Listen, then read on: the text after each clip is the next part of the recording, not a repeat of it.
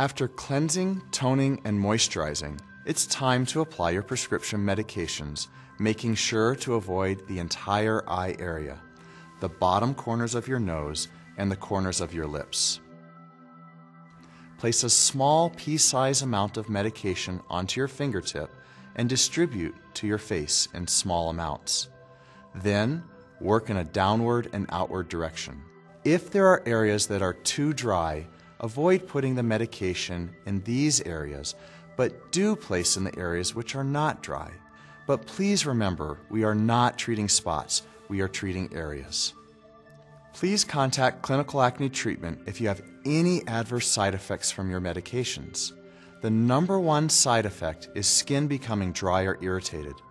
If this happens, use less of the medication or apply it less frequently.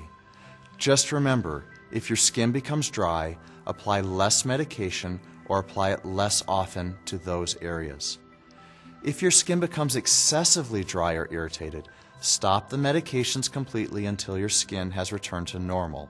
Then apply a smaller amount or apply it less frequently. Before using clinical acne treatments, products, or prescriptions, contact your local physician for approval. Please do not share your medications with anyone. You should not use clinical acne treatments, products, or prescriptions if pregnant or breastfeeding without first consulting with your OBGYN or pediatrician. You will be more prone to sunburns during treatment, so please avoid the sun.